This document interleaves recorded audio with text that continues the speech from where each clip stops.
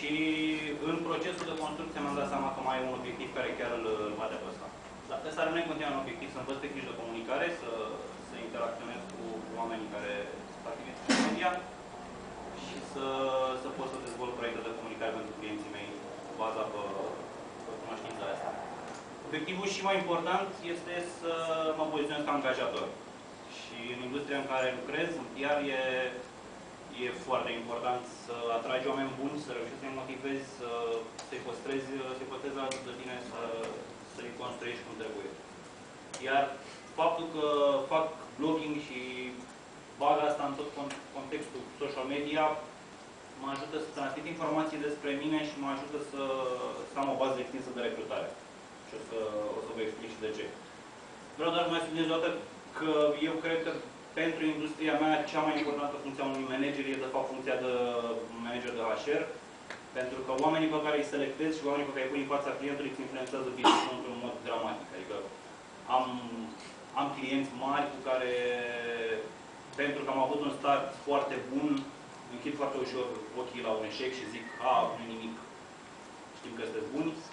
Am clienți uh, care, pentru că am avut un început greoi și eu am greșit alocând un om nepotrivit pentru clientul ăla, uh, ne de 2 ani într-o tensiune, care e un autism complet, adică suntem tensionați, nu avem încredere în altul, și faptul că sunt rezultate mai mari decât cu alți clienți. Și de-aia în, uh, în jocul ăsta, felul în care îți alegi oamenii și felul în care îi perechezi cu clienții e, e extrem de important, e extrem de important să știi ce pot face, să știi care sunt calitățile și, și defectele. De ce pe WordPress? Că sunt uh, schimbat aici. Uh, așa zis programatorul care mi-a făcut blogul. Eu n-am absolut niciun fel de cunoștințe de programare. M-am dus la cineva și am zis, vreau și un blog. Și l-a zis pe WordPress. Și am întrebat de ce. Și l-a zis, nu-i treaba ta. Uh, e perfect. Până și eu, care sunt un analfabet tehnic, am învățat ce să, să lucrez cu el. Am o problemă cu pozele, care stălățesc într-un mod foarte ciudat cum le pun în, în post. Uh, motivul că dacă mă învață cineva din sală ce greșesc, rămân dator cu comunica de presă. O să vorbesc despre al doilea obiectiv astăzi, mai mult. Uh, pentru că primul e și un subiect destul de, destul de larg. Primul e un status. Ce fac eu în momentul ăsta? E să am un blog, să am conturi pe Twitter, pe LinkedIn și pe Facebook, să dezvolt niște conturi pe, pe Flickr și pe Delicious și să experimentez în celelalte să le explorez mai degrabă să văd ce, să, ce se poate face în ele. Ce înseamnă poziționare pentru mine? Înseamnă că pe social media, adică pe un blog pe care l-am privit de foarte de intrare în social media, dar și alte conturi, transmit informații despre cultura companiei, transmit informații despre echipa Millennium Communications și transmit uh, informații despre mine, despre stilul meu de management și despre ce te poți aștepta, la ce te poți aștepta dacă lucrezi, lucrezi împreună cu mine. Uh, și e relevant, de exemplu, de descoperit că pentru mulți din angajați, dacă dai o căutare pe Google după nume, o să apară prima oară blogul și dacă intri pe blog o să găsești un post în care te urez la mulți ani, descoperi de minunat, sunt pun poze în care îi zâmbesc. Deci e, e un pic contact cu organizația pozitiv.